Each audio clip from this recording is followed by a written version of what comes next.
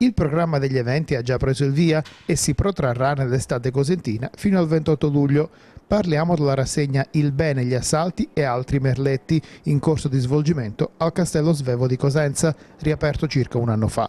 Il Monumento Bruzio si candida così ad essere un grande attrattore turistico, ma anche location ideale per eventi culturali, ma anche dedicati alla musica e allo spettacolo e saranno tanti quelli in programma fino a fine luglio. Si continua poi con una tre giorni eh, dislocata in, eh, a cadenza quindicinale eh, sul bel canto al castello, quindi sulla musica lirica, un omaggio a tre grandi momenti della musica italiana attraverso la lirica, eh, Napoli il 28 di giugno, poi il 14 Rossini e il 28 luglio faremo un omaggio ai 150 anni di Francesco Cilea. Tre momenti legati alla musica lirica che vedranno coinvolti tenori, soprani e musicisti del Conservatorio di Cosenza, quindi talenti, eh, giovani talentuosi della, della, scena lirica giovanile italiana. Eh, avremo poi l'ironia, il sarcasmo e anche il ricordo eh, attraverso